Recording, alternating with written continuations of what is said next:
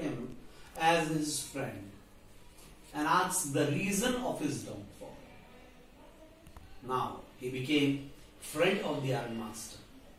He even called him by his name, Nils Olof. The peddler did not know his name, but he thought, if this man takes me as his friend, I should also behave like that. So he said that God knows things have gone downhill with me. The Iron Master criticized his decision of resigning from the regiment. He said, If I were there, I will not have let you resign. Now the Iron Master told him to forget everything and come to his home for a Christmas party.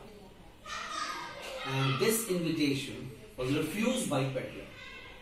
The Iron Master thought is refusing because his attire is not pleasing.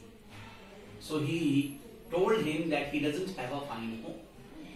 And he only has two people in his house, he and his daughter. So he wanted him as a Christmas guest. But the Iron Master, but the peddler still said no and he was firm on his decision. So Iron Master left him and left the place smiling. Before leaving the place, he told his workers to look after his guest who wants to stay in the forge. After half an hour, the Iron Master's daughter came. Iron Master's daughter came in a carriage. She